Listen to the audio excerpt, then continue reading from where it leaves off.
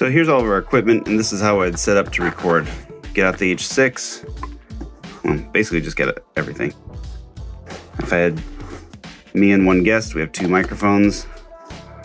And so I put on these windscreens just because with the SM58, they sound great, but they can get a little bit of plosive, so the popping with the P's and the B's and the T's and the C's. So putting that foam windscreen on just helps minimize some of those plosives.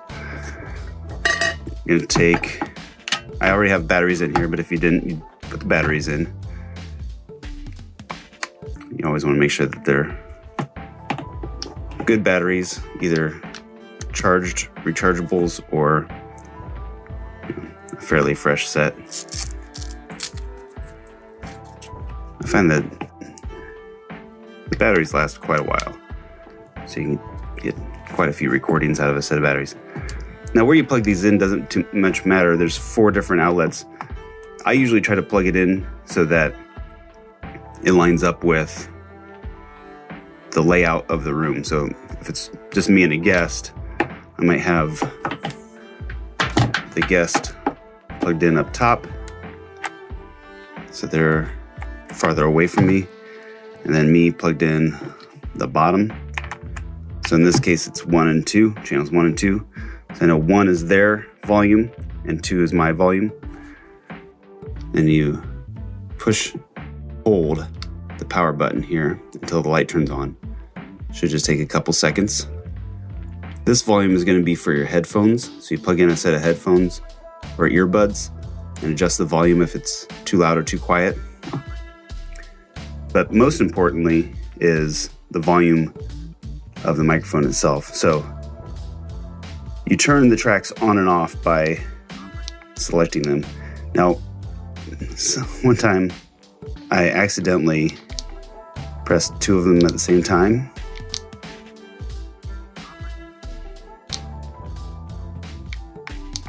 Okay.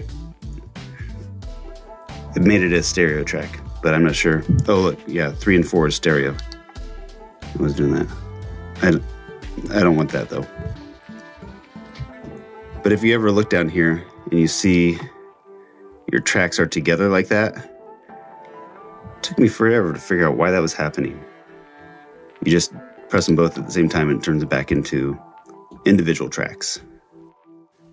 So you arm the tracks that you're going to use. We're only using one and two, so you hit one and two, and you have those red lights. You don't want anything else lit up. It's not going to let you select left and right because there's nothing plugged in there. And then you're going to watch your levels down here. I find usually with the SM58, somewhere between 6 and 7 tends to be good. If you've got a loudspeaker, or if you're in a loud room so they're talking louder, or if you're laughing a lot, making a lot of noise, you want to be more closer to 6. If you have somebody that speaks very quietly or doesn't bring the microphone very close to their mouth, you might have to turn them up to 7 or so. But you're gonna look at your screen and I think it dimmed here. But if I hit record, you'll see. I'm gonna go ahead and stop the recording. But I'm on channel two, my guest is on channel one, and you look at the levels and you want them to hit between negative 12 and negative six. So I'm probably a little quiet. I could go a little bit louder with my current talking volume. And so I'm just moving this ever so slightly, but again, somewhere between six and seven is probably a good place to be.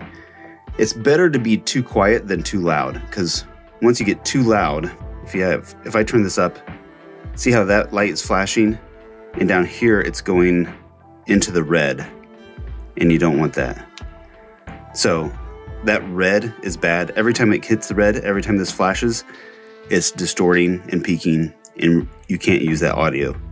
So turn it down until it's sitting between negative 6 and negative 12. Sometimes I'll get a little loud just to see what it's going to be like. And we realize, okay, yeah, I really should probably keep this at 6 because every once in a while I might laugh a little bit. Okay, perfect. So I'm comfortable with these levels and you're just going to hit the red button to record. And now you'll see this is counting one, two, three. So you know it's recording. It's been recording for five seconds. You know it's recording channel one, channel two. You're plugged into channel one and channel two. These are lighting up, so you're getting good levels. And you can see down here that I still have 16 hours left. So I'm not going to run out of space on my SD card for another 16 hours. That's good. And I've got two out of three battery life meters there. So I should be good for an hour long interview with two green marks there. Now, if you weren't sure how long your how good your batteries were, or if you weren't sure how long you were going to talk, you might want to replace the batteries. But or you could just watch it, and if the battery's dying, you might have to stop and take a break, switch out batteries, resume where you left off. Um, but whenever you're done, you just press the stop button, and it's saved on there. And it's going to be in folder 01. So whenever you open this up on the computer, you'll look in folder 1, and there'll be a bunch of folders. Every recording is saved under a different folder within folder 1. But this is all set to go. And I mean, you, you can worry about what kind of wave file you have and stuff, but probably the default that it comes with will be just fine.